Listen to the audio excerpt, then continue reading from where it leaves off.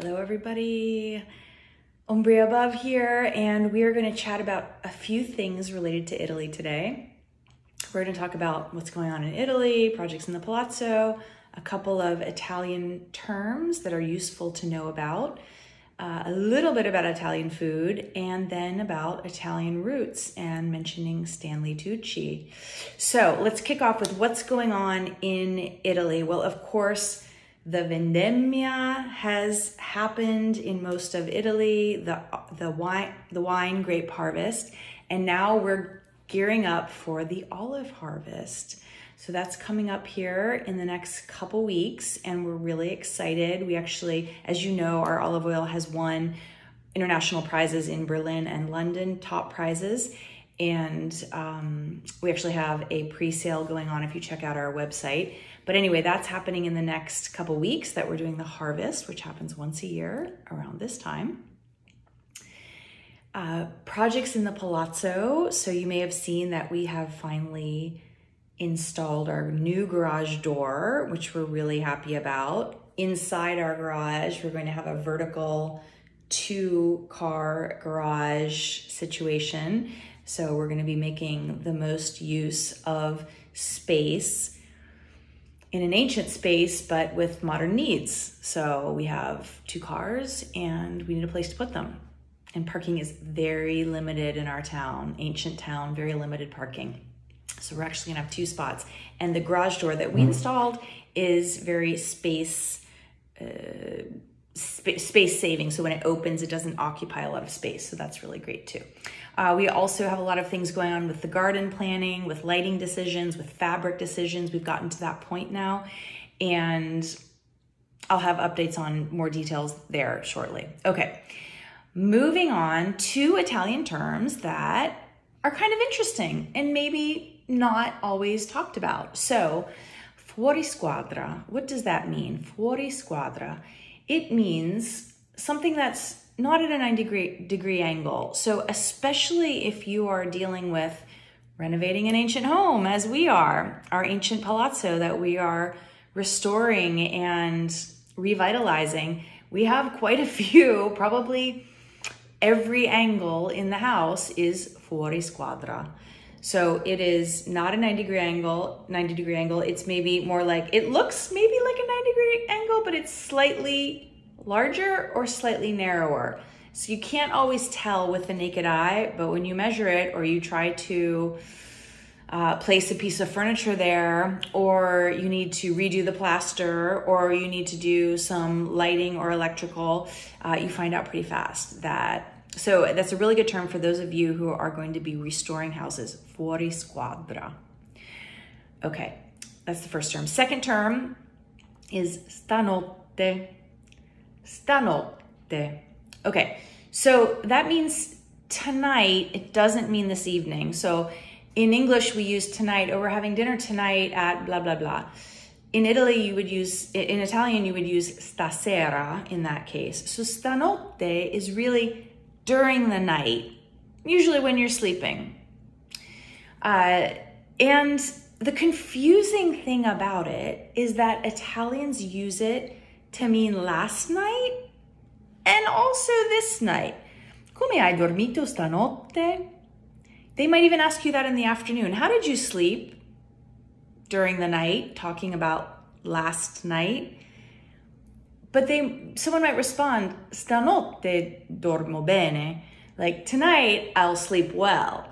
But they talk about it the night that's coming and the night that passed. So you really have to use the verb tense to figure out what they're talking about most of the time. Um, it can be really confusing. You have to use a little bit of context, a little bit of logic, but it definitely doesn't mean evening. It doesn't mean this evening. It means during the night, usually when you're sleeping.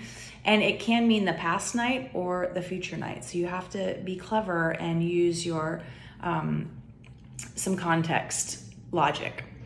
Okay, let's talk a little bit about Italian food things. So uh, I am an Italian. I grew up in the United States. I was Italian from birth because of my mother and my grandparents. I then met my Italian husband. So we have a life where we go back and forth between Italy and the United States pretty frequently. And our residency is in Italy. We spend most of our time in Italy. But because we have a lot of family in the United States, our boys are in high school in the United States, we go back and forth pretty regularly. And so we, res- we observe very quickly and very often a lot of differences in the culture and also the food. So in Italy, of course, there's a classic pasta dish called spaghetti aglio olio. Spaghetti with garlic and oil, which has use a little parsley, use a little pepperoncino, definitely some garlic, definitely olive oil, um, probably a little bit of grated cheese, and spaghetti. And that's it, okay? So we were in the United States a few months ago, and on the menu was spaghetti aglio olio. Spaghetti aglio olio. Spaghetti with garlic and olive oil.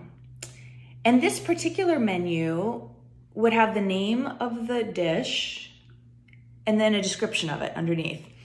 So that was really fun because in the description of spaghetti aglio olio, the first ingredient was fettuccine. Already wrong, right? Fettuccine is another type of pasta, not spaghetti. So if you're gonna do fettuccine aglio olio, which I've personally never heard of, that would be fine. But the title of the dish was spaghetti aglio olio, and the first ingredient was fettuccine. The second ingredient was gamberi, shrimp. Shrimp do not belong in spaghetti aglio olio. So the description went on to include garlic, olive oil, a few other random things, but it was very funny because in Italy, these things are sacred.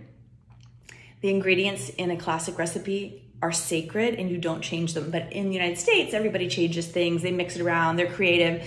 And that doesn't fly in Italy and it flies in America, so it's just a difference in cultures.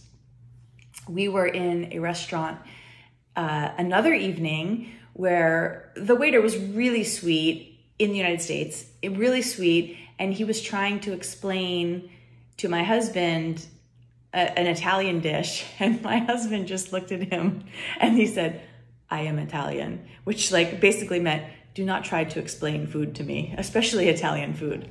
So it is it is often amusing these differences in culture uh, and and very different. Okay, last thing we're going to talk about today is Italian roots. So a lot of you are Italian American. And usually what that means is that you have some kind of Italian ancestry, right? But you grew up in the United States and your culture is mostly American or Italian American, which is a very different culture than Italian. So those are three cultures we're talking about United States culture, Italian American culture, and Italian culture. Three very different.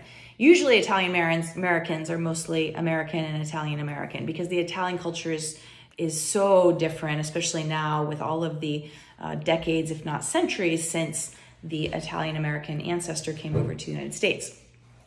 So, what I recently saw related to this on Instagram was Stanley Tucci went back to his ancestral town of Marzi.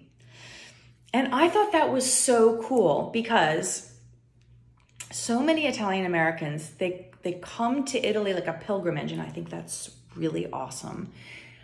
But they go to Rome, Florence, Venice, Cinque Terre, maybe Sicily, uh, maybe Amalfi Coast, Tuscany. And the thing is that those places, while important to see, and beautiful are highly curated and cultivated towards tourists. And so the experience is really going to be a touristic experience. You can find authenticity, but it's hard. So you can find it, but it's not easy. And, and you may not even know that it's not authentic if you haven't done enough travel in other places where people don't speak any English in Italy and so forth. So a lot of people don't even realize they're not having an authentic experience because they only ever go to places that only speak English, like the ones I just mentioned, but there are there are of course some others.